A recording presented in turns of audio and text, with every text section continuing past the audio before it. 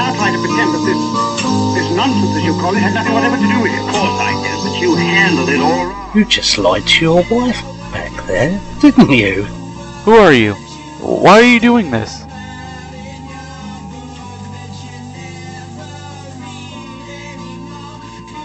Oh, oh, oh, my baby, my baby. Ah. Love you. You're real jerk, you know. But why would you be here?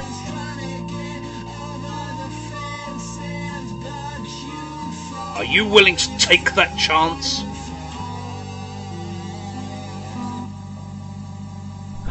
What will happen to me? Time is almost up.